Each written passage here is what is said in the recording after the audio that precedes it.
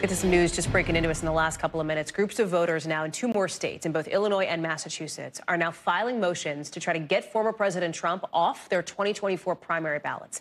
NBC's Ryan Reilly is following this for us. This is part of a larger issue as it relates to ballot access for former President Trump, most notably in the state of Colorado, where he is now asking the Supreme Court to essentially get him back on that ballot. What do we know about what's happening in Illinois and Massachusetts? Because right now it seems to be groups of voters, right? It is not um, like judges or whatever. How much teeth does this have? Yeah, right. So everyone's getting in on this now. Uh, they're just all petitioning all these various states. So states who haven't had these these before, groups of voters are getting behind this. Essentially, what you have here is a liberal organization that is organizing groups of voters in this various state in these various states right now, Massachusetts and Illinois, uh, to file with their local boards to file these petitions and say that Donald Trump is ineligible because he engaged in insurrection, as the 14th Amendment sort of lays out. And obviously, we're sort of in uncharted territory here, but ultimately, all this is going to make its way up to the Supreme Court. Court. And the Supreme Court obviously is going to be handling a lot of these issues as we go into 2026. Is essentially, you know, campaign reporters might want to start camping out outside of SCOTUS because we're really going to have all of these cases that are ultimately uh, making their mm. way to the Supreme Court. And that's where so many of these issues of the 2024 election are going to be decided. Any timeline on when we think we might get any resolution on these particular incidences?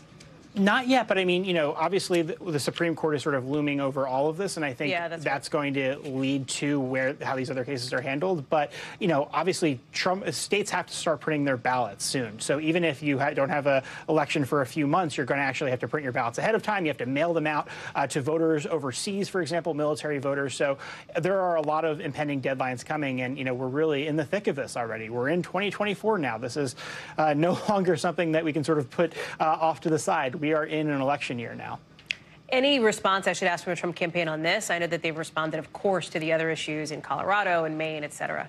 It just broke, so we haven't had anything uh, from the Trump folks here. But you know, they have to respond to all these petitions as well, right? So they have to build all these up. I think obviously they're sort of focusing all of their efforts right now um, on that Colorado case. Uh, but you know, there are a number of states where this is this is piling up. But you also have states who have rejected this, and it, differs in how these are handled in various states. So you have to sort of do this this quick, you know, uh, quick googling and sort of uh, catching up very quickly to how these are handled individually. Because in some states you have a situation where it's a Secretary of State state who makes that decision. In some states, there's a board of individuals. And then, you know, obviously the Colorado case is a different case where the Colorado Supreme Court ultimately decided this. And that litigation progressed a lot further um, than it has, where they're just sort of kicking this off uh, from the beginning. But what they want to do is remove Donald Trump uh, from the Republican uh, primary ballot initially here. And obviously, you know, they would obviously want to not have him on the general election ballot as well.